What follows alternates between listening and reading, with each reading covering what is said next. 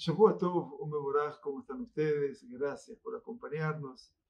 Perashat Aikev es una perashá pletórica de mitzvot. Un famoso pasuk en la perashá introduce la obligación de la Sagrada Torah respecto a lo que es Birkat Amazon, la única bendición establecida con claridad en nuestra Sagrada Torah.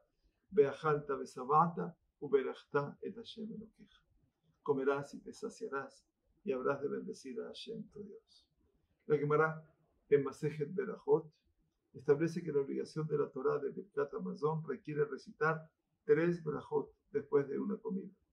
La cuarta braja que recitamos en el Birkat Amazon, conocida como Hatov Behametiv, comenta la Gemara, no está incluida en la obligación de la Torah y fue añadida por los sabios de Diabne post-Jurban, después de la destrucción, después de la trágica masacre de la población judía del último reducto que se enfrentó con éxito contra los romanos, pero que cayó a manos de tiránico Adriano y déspota que se llamó Betar.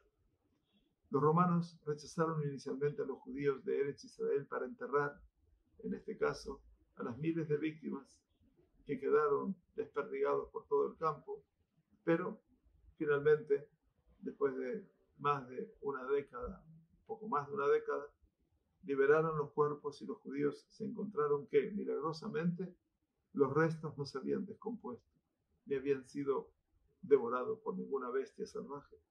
En conmemoración de este evento, los sabios de esa época, la época de Yavne ya, instituyeron la cuarta braja de Amazon, en la que alabamos al Todopoderoso por la bondad que Él nos otorga todos los días, a Tov Beametiv, que es bueno y benefactor. La institución de esta braja se vuelve especialmente notable a la luz de su trasfondo histórico. La ciudad de Betar fue el último bastión, como decíamos, de la revuelta de Bar. Es bien sabido que esta revuelta, que en un principio tuvo un éxito rotundo, llegaron a liberar a Jerusalén por tres años, nada más y nada menos, llenó de energía a los judíos de la época y alimentó sus esperanzas de soberanía, incluso siendo promocionada como el inicio de la era mesiánica. La caída de Betar resultó no solo en la muerte de decenas de miles de judíos, como describe la Gemara en Masejet Gitin, sino también en la destrucción de las esperanzas de libertad y la redención final. Peor aún, marcó el comienzo de un periodo de persecución implacable contra los judíos cuando el emperador Adriano, Yemach Shemov se dispuso a castigar a los judíos por la violenta revuelta. Periodo de la caída de Beitar y sus consecuencias, sin dudas, se encuentra entre las épocas más oscuras de la historia judía, una época de derramamiento de sangre, desilusión, esperanzas frustradas y desesperación. Increíblemente, fue durante este periodo cuando los sabios promulgaron que cada vez que comemos debemos recitar una bendición a Dios alabándolo por el buen rey que trata con bondad a todos, quien todos y cada uno de todos los días ha tratado que él trata con bondad, tratará con bondad en medio de a, cada uno de nosotros, perdón.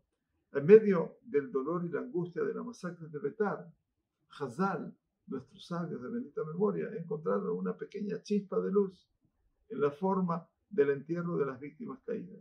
Y nuestros sabios quisieron enseñarnos que aún en los momentos de mayor desesperación y dolor, podemos y debemos encontrar esta chispa y alabar a Dios, al buen rey, a Melech que trata con bondad a todos.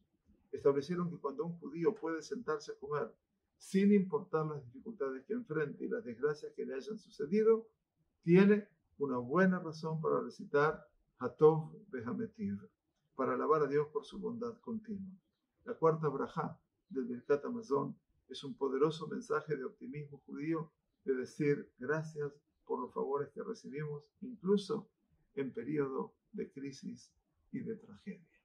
Algo más que nos ayuda a comprender nuestra rica herencia y cómo una braja transforma también la esencia del ser humano. Atov Behametiv. Que tengamos una excelente semana. Gracias, muchas gracias por acompañarnos.